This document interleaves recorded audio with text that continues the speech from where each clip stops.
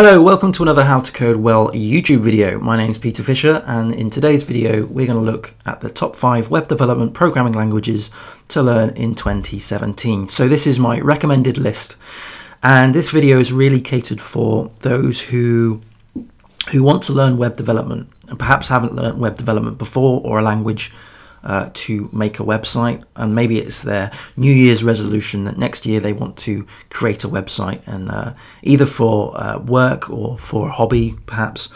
Um, this video is also um, uh, will also help people to decide which um, programming language to learn as a second language. So they might for example already know Python or PHP and they're interested to uh, try out another language, put another language under their belt. Um, so stay tuned. Here are my top five web development programming languages to learn in 2017. Okay, number five is Ruby. So Ruby is a lovely, lovely uh, language. Um, it was built in uh, the mid 1990s. It's taken its origins from other languages such as uh, Perl and Lisp, but don't let that uh, put you off because Ruby is a very lovely language uh, to write and to read. Um, it does a lot of things correct, in my opinion. Uh, in terms of the web, it has uh, Ruby on Rails. That's the framework of choice for Ruby. Um, now, the reason why it's at the back of the class is because um, there isn't perhaps as many um, there, there isn't perhaps as many tools and as many um, hosting solutions for Ruby as other languages might have. And therefore the barrier of entry is uh, is pretty high because you have to set up all that stuff yourself. Um, if you were running for example a VPS or, or whatnot um, there are there are solutions out there, but uh, they're few and far between in comparison to other languages such as PHP and Python and Java and so forth. So um, that's why I've really put it at the back. But it's certainly a lovely language um, to to learn and uh, to write. Um, Ruby is also used in other web applications or, or, tools that hang off of a website or a web system. So, for example, Ruby can be used to deploy websites. So, uh, creating Ruby scripts here.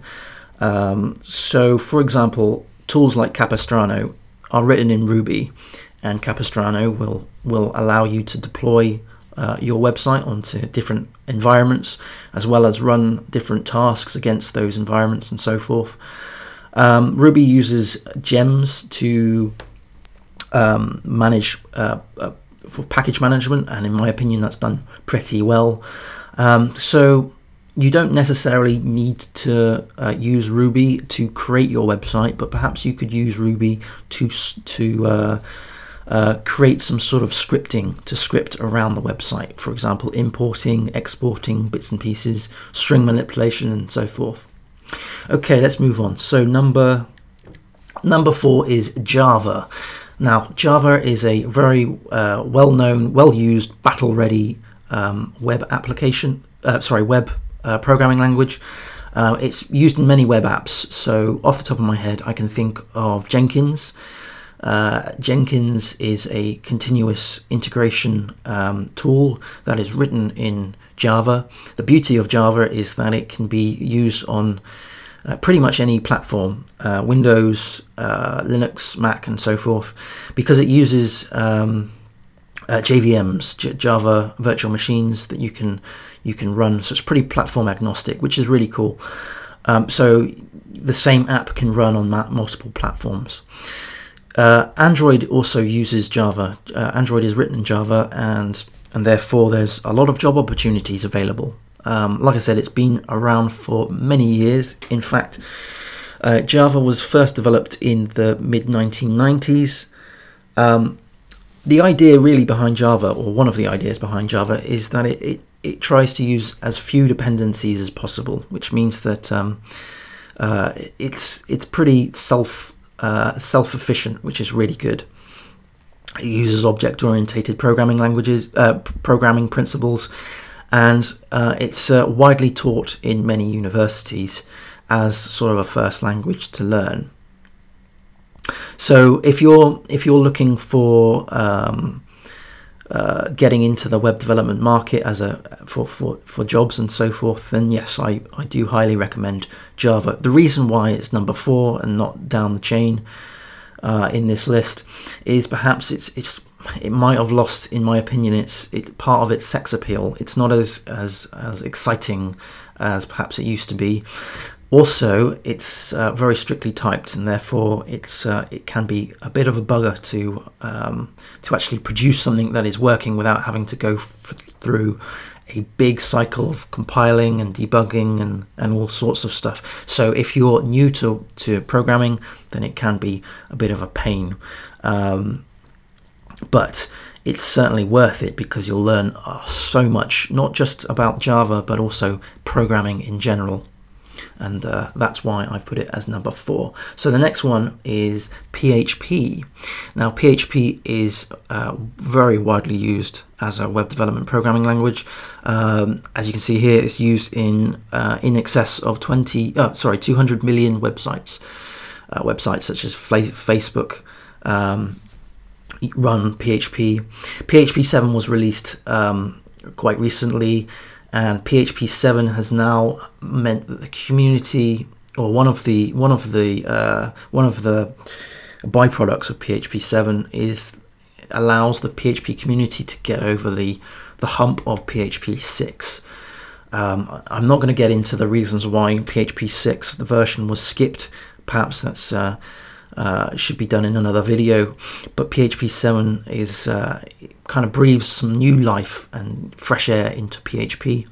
Um, there was a lot of people, um, a, a, lot of talk about PHP is dead and so forth in the last uh, few years, but I, I, do think PHP 7 has pumped new life into PHP.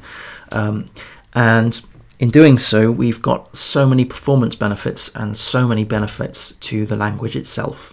It uses Composer as a means of package management. It used to use things like Pear and PECL, which in my opinion were just a big pain in the ass. Composer is so much easier. Um, and it's easier to, to, to learn and the barrier of entry there is, is far, far smaller than it used to. Uh, PHP was developed in 1994 Okay, so moving on to the top two. Da -da -da so number two is JavaScript. So JavaScript um, has come a long way recently, especially with ES 2016, ES 6. This is um, the basically the new version of JavaScript. JavaScript is um, is the go-to client-sided language um, for all the browsers. So every browser uses JavaScript, and therefore the barrier of entry there is pretty non-existent. All you need to do is create a, a JavaScript file, then open it in your browser, and then use, say, a web um, a web browser uh, inspector. So we've got those inspectors in in all the browsers: Firefox, Safari, Chrome, and so forth. And then you know you can do console log and debugging and, and so forth. So basically every computer these days can run JavaScript. Um, every you know every laptop that you buy will be able to run JavaScript because it has a browser, and therefore the barrier of entry there is pretty non-existent. JavaScript is also used in other um, other devices. So, uh, for example, mobile applications. You've got companies like Appcelerator and um, other people like PhoneGap who who allow you to create um, JavaScript applications that can, um, in Appcelerator's sense, compile down to uh, cross platforms, so iOS and uh, Android in their you know in their native cases. So you can use frameworks like Alloy.js and Backbone.js to create yourself really nice uh, mobile applications that can be used in uh, cross platforms. Now I know this is um, a web development talk, not a mobile applications talk, um, but um, with with all of those technologies for the mobile applications, we've also got um, better um, frameworks for for just the web in general. So, for example, Backbone.js can be used in the web, and so forth. Um, in fact, that's where it well, that's where it uh, it started from. So the reason why I've put this as number two and not number one is because, in my opinion, I think the package management of JavaScript is a pain in the ass. It's a pain in the backside because um, uh, it's come a long way, yes, with npm and all of that stuff, but it, in my opinion, it's got a long way to go. Um, there was a lot of incidences um, in the last few years where uh, uh, certain uh, web apps um, couldn't run because certain packages were not being maintained or broke dependencies, the dependency changed for other packages and so forth. And perhaps all of this is growing pains because JavaScript is really, you know, is, is growing more. Um, perhaps all of those problems will then just sort of resolve themselves as as, P as JavaScript matures more. But at the moment, I see that as a bit of a barrier, especially for people who are trying to learn JavaScript and are scratching their heads as to why their application doesn't work because um, something down the chain in npm is just broken, and it you know it's an influence. Someone else's code has just influenced them, and you know they're, they're wondering why on earth is this in such a state. So that's why I really put it as number two. But um, there's a lot of potential for JavaScript. Um, if you're looking for uh, a new a new industry to get yourself into, if you're moving from web and moving into mobile, then then use JavaScript because you know it's um, a lot of, a lot of the skills that you've learned from the web can be transferred over to mobile applications. So um, I re certainly recommend it for that. So without further ado, my number one web uh, web development programming language to learn in 2017 is Python. So Python is the most taught uh, programming language in the US schools. Now I say programming language instead of web development language because Python um, is used a lot outside of the web as well as inside of the web. Um, or against web systems in a similar sense, I suppose, as I mentioned uh, in Ruby and maybe Java. Um, so uh, Python is, uh, like I said, it's been taught in most schools, which means that there's going to be, in my opinion, a market in the next few years, uh, a job market um, for Python developers uh, because there's going to be lots of tools that are written in Python, lots of websites that are written in Python. There's going to be a lot of need for web development skills in Python. Python is also um, used a lot in IoT, so that's the Internet of Things, so smart devices and so forth. Um, uh, devices like uh, the Raspberry Pi use Python as a means of, you know, as a, as a learning tool for programming languages. So it's a very, very low barrier of entry there. You just pick up a very cheap device and you can start learning Python from that. And so Python was being taught in several schools all over the country using, or world indeed, uh, using a Raspberry Pi as their as their device. In my opinion, it's a beautiful, beautiful language.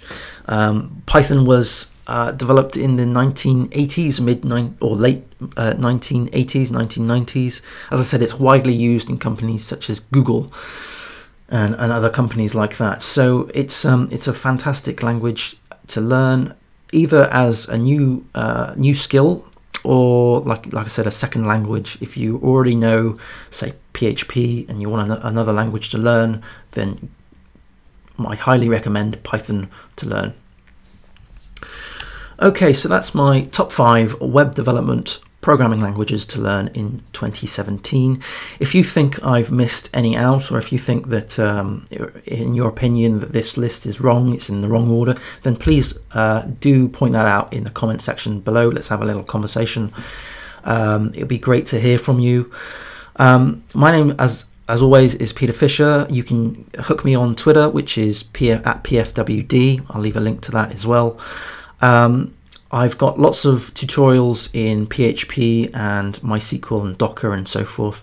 So uh, do subscribe to pick up those. I've got a couple more um, top five lists coming your way in the next few weeks. So do subscribe to get that. Like this video if you found it helpful and please do share it along. Thank you ever so much and I'll speak to you all again soon. Bye.